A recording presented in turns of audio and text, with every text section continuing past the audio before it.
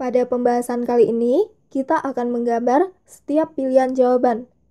Pilihan jawaban A, pukul 2.30. Pilihan jawaban B, pukul 22.20. Pilihan jawaban C, pukul 16.30.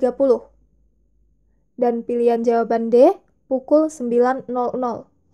Pada soal A, sudut yang dibentuk lebih dari 90 derajat, maka sudut tumpul. Pada pilihan jawaban B, sudutnya lebih dari 90 derajat, maka disebut sudut tumpul. Pada pilihan jawaban C, sudutnya kurang dari 90 derajat, disebut sudut lancip. Pada pilihan jawaban D, sudutnya tepat 90 derajat, disebut sudut siku-siku. Yang ditanyakan adalah sudut lancip. Jawabannya C. Sekian, sampai jumpa di pembahasan berikutnya.